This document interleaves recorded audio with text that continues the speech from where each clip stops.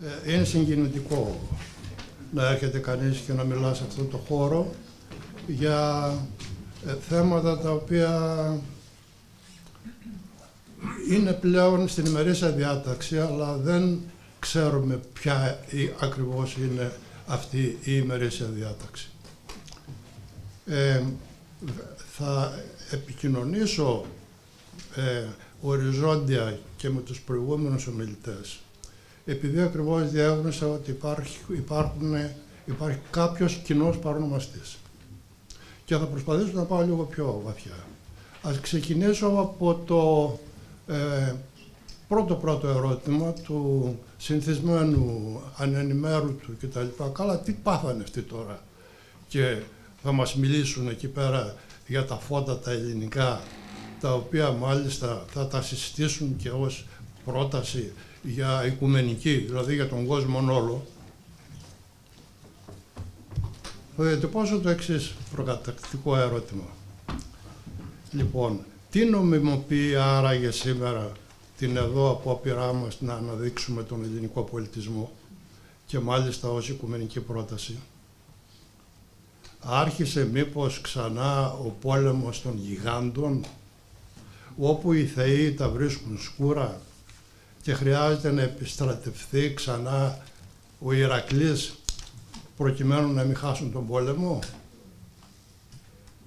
Ποιους θεούς έχουμε υπόψη; Ποιον Ηρακλή και ποιον πόλεμο των γιγάντων. Είναι συμβολικό το, το ερώτημα από την ελληνική μυθολογία.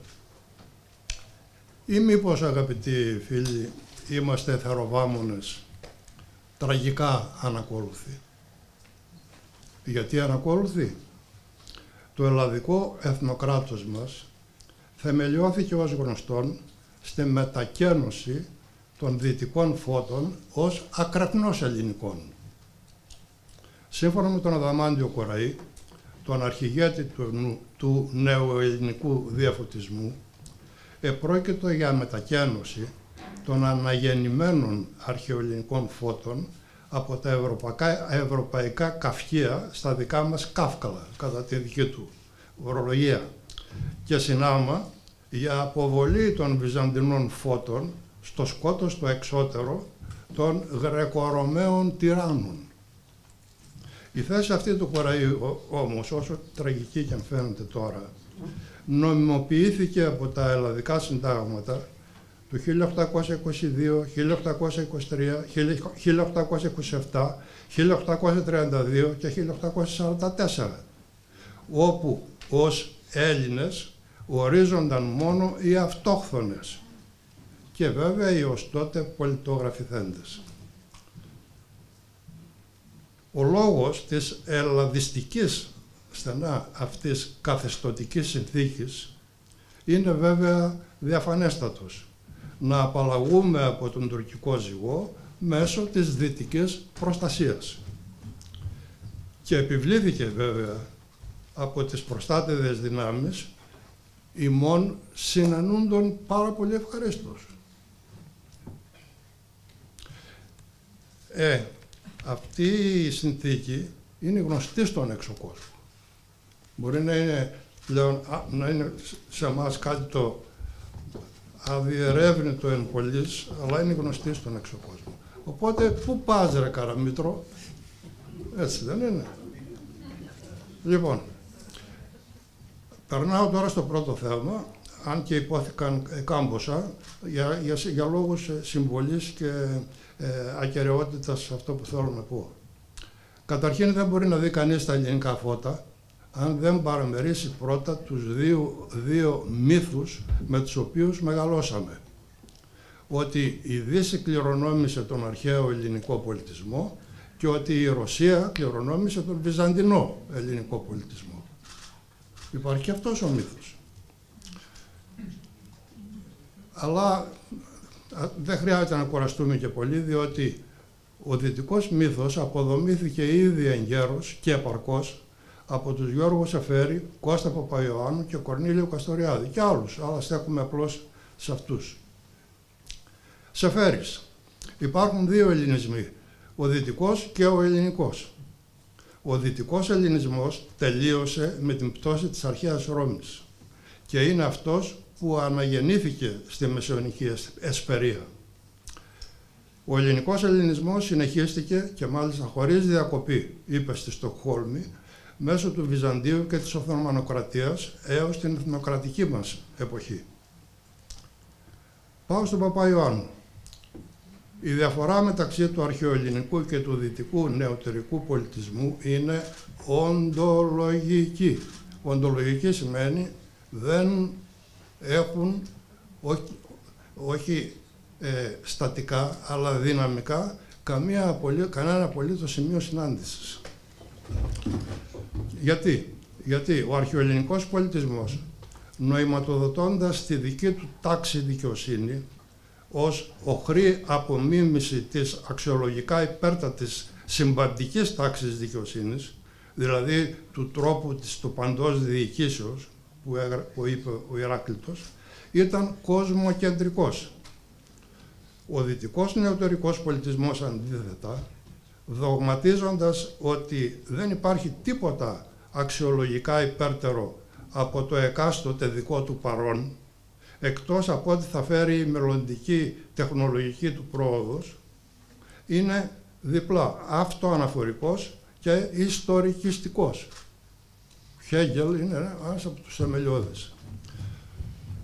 Και προεξόφλησε ο Παπαϊωάννου το επικείμενο τέλος του πολιτισμού αυτού, του νεωτερικού, επαναλαμβάνοντας τον Νίτσε.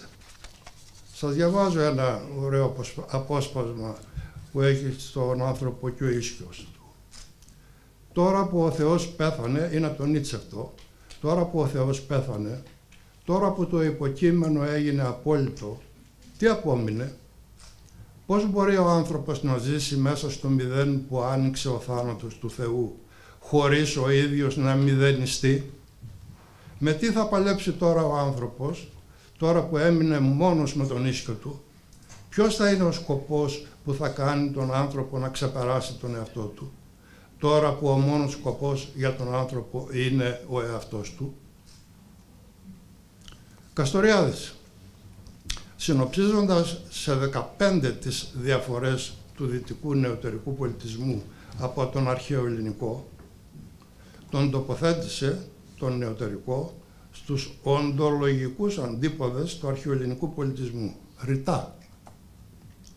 Η αρχαιοελληνική εξατομίκευση ήταν αναφορική. Παρά, παράδειγμα, το ελληνικό άτομο είναι λόγο δυτικό. Ο λόγος του είναι κοινός, κοσμικός εναρμονιστικός. Δίνει λόγο στον κοινό λόγο και παίρνει το λόγο από τον κοινό λόγο. Πράγμα που συνεχίζεται και στη χριστιανική περίοδο της ιστορίας του δόσμη λόγων, λόγια κτλ. Ε; Τα γνωστά. Ε, και η αρχαιοελληνική εξατομίκευση λοιπόν ήταν αναφορική, όχι αυτοαναφορική και αδιαμεσολάβητη. Σχέση πρόσωπο προς πρόσωπο. Ενώ η νεωτερική δυτική ήταν αυτοαναφορική και τεχνοσυστημικά αδιαμεσολαβημένη απρόσωποι δηλαδή, με διαμετρική συνάμα την κατεύθυνση της εξέλιξής τους. Μία πάει προς τα εκεί, η άλλη πάει προς τα πίσω. Πώς τον... Θα δούμε πώς. Ανακεφαλιώνοντας τα συμπεράσματά του, ο Καστοριάδης προσδιορίσε πριν από το θάνατό του ως εξής το πού ακριβώς βρισκόμαστε σήμερα. Τόσο εμείς όσο και η Λυπή Δύση. Εμείς σε 25 χρόνια καταστρέψαμε ελληνικό πολιτισμό 25 αιώνων η Δύση, στα ίδια χρόνια ανόδου της ασημαντότητας, είναι το τελευταίο του βιβλίο κατά κάποιον τρόπο, ε, πτώσεις στον μεταμοντέρνο μηδενισμό πια, κατέστρεψε και αυτή τον δικό της πολιτισμό. Είμαστε περίπου στο μηδέν.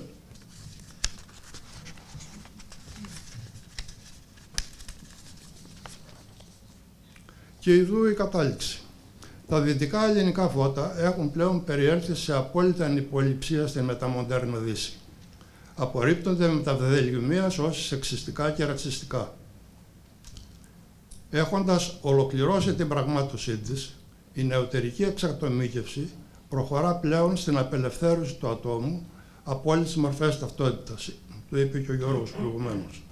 κοινωνικής αλλά και βιολογικής από το φύλλο και από αυτό ακόμα το ανθρώπινο είδος. Εδώ είναι ο μετανθρωπισμός, η αξιοποίηση προς αυτή την κατεύθυνση της τεχνικής νοημοσύνης κλπ.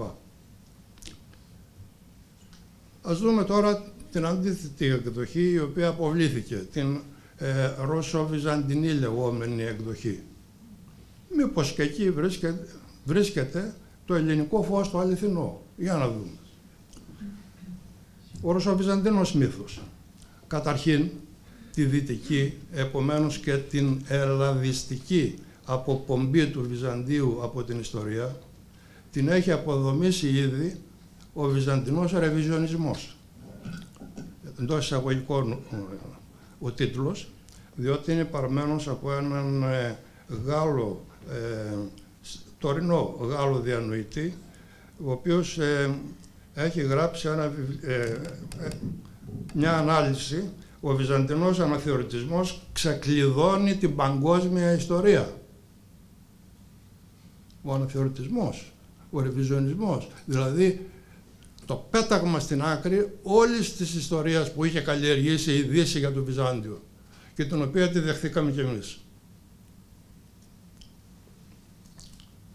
Πράγματι, ε, είμαστε πλέον σε θέση να αναγνωρίσουμε ότι η Βυζαντινή Οικουμένη κράτος μετακένωσε μεν τον Ορθόδοξο Χριστιανισμό στους Σλαβικούς λαούς, χωρίς όμως τις ελληνικές προϋποθέσεις του τις γλωσσικές, τις φιλοσοφικές και προπαντός τις πολιτιακές.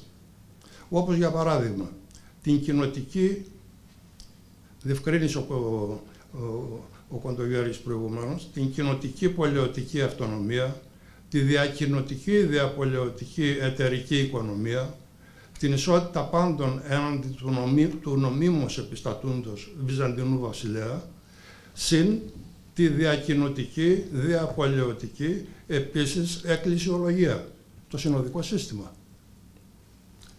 Η παράληψη του Βυζαντίου να μετακενώσει στους σλαβικούς λαούς τα κυρίαρχα στην κοινωνία του αρχαιοελληνικά φώτα ήταν εντελώς σκόπιμη για να μην τους μεταφερθεί μαζί με το ελληνικό μήλο και το ατομικιστικό σκουλίκι που είχε μέσα του που, που είχε ανατινάξει, που είχαν ανατινάξει εκ, το, εκ των έσω την εξατομικευτική ολοκλήρωση της αρχαιοελληνικής μετοχής στην καθολική ελευθερία. Δηλαδή στο άθροισμα ιδιωτική, συγκοινωνική, συμπολιτική ελευθερία. Αν υπάρχουν λοιπόν ελληνικά φώτα, οφείλουμε να τα αναζητήσουμε εκεί που υπάρχουν σωρευτικά, δηλαδή στον ελληνικό ελληνισμό του Σοφέρης, της βυζαντινής οικουμενικής βαθμίδας του ελληνικού πολιτισμού. Έναν ελλειπτικό κόσμο, έλλειψη, έναν ελλειπτικό κόσμο που έχει δύο νοηματοδοτικά κέντρα περιστροφής.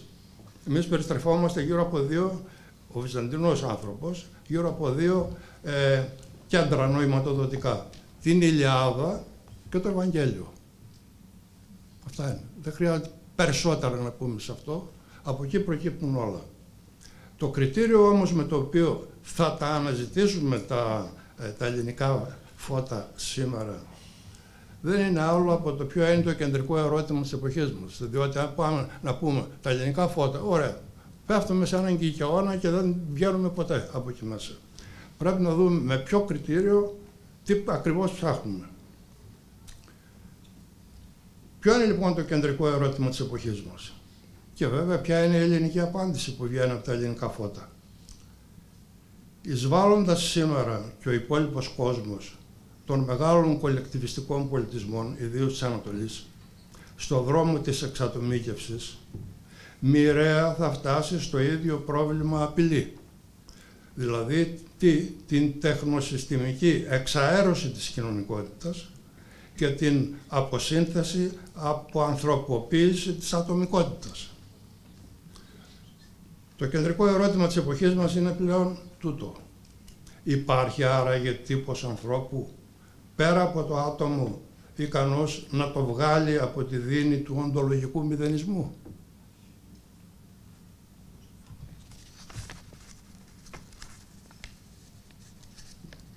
Με έχω μπλέξει εδώ τώρα τα χαρά τα καταφέρατε. Ναι. Ε, η απάντηση των ελληνικών φώτων είναι ναι, υπάρχει και είναι το πρόσωπο. Στηρίζεται δε πριν πει κανείς τι είναι, μπαίνει ένα γιατί. Πού στηρίζεται αυτό; Στηρίζεται η απάντηση αυτή στο μοναδικό στον κόσμο ιστορικό προηγούμενο που ήταν η μετάβαση του Πανελληνίου από την ομόλογη δική του κρίση της εξατομίκευσης στον βυζαντινό πρόσωπο κεντρικό πολιτισμό. Λοιπόν, η εμπειρία και γνώση της ελληνικής προσωποκεντρικής μετάβασης, η εισέτη απρόσληπτη από Ανατολή και Δύση, και από εμάς βεβαίως, θα μπορούσε να προταθεί σαν το αναγκαίο αρχιμίδιο στήριγμα που χρειάζεται ο σύγχρονος κόσμος για να υπερβεί την πόλωση ατομοκεντρισμού κολεκτιβισμού ή δεσποτισμού το ίδιο είναι και να βγει από τον εμπεδόκλειο δίνο στρόβιλο του οντολογικού μηδενισμού. Μια αδρή περιγραφή οδηγεί ακριβώς εκεί. Τώρα, περαίνοντας λίγο την εισήγησή μου, θα έλεγα ότι ο προβληματισμός πάνω σε αυτή την πρόταση υπάρχει μια εμπειρία και μια γνώση. Δεν λέω εγώ τι είναι. Ψάξτε να το βρείτε. Ψάξτε αυτή την εμπειρία και τη γνώση και θα βρείτε την απάντηση στο, στο ερώτημα, εάν συμφωνείτε ότι το ερώτημα είναι αυτό. Λοιπόν, περαίνοντας την εισήγησή μου, θα έλεγα ότι ο προβληματισμός πάνω στην πρόταση αυτή δύναται να ξεκλειδώσει και τα προσυδειάζοντα φώτα της Ολυμπιακής κληρονομιάς, τα οποία έχουν να κάνουν με αυτά που έλεγε προηγούμενα ο Κοντογιώργης, ε, μετακρατι, μετακρατικές, μετακρατικά ε, κοινά, πόλεις, χωριά κτλ. και οικουμένη κράτος, όπου οι πόλεις κράτος, δηλαδή το ομόλογο του σημερινού έθνους κράτους, έτσι, έγινε το, το έθνος κράτος τώρα να γίνει μετακρατικό στα πλαίσια μιας οικουμένης. Αλλά δεν ξέρει κανείς τι, τι λέει αυτό το σχήμα. Άμα, άμα μελετήσει την, ε, τα ελληνικά φώτα θα την βρει την απάντηση και θα προσπαθήσει να κάνει κάτι.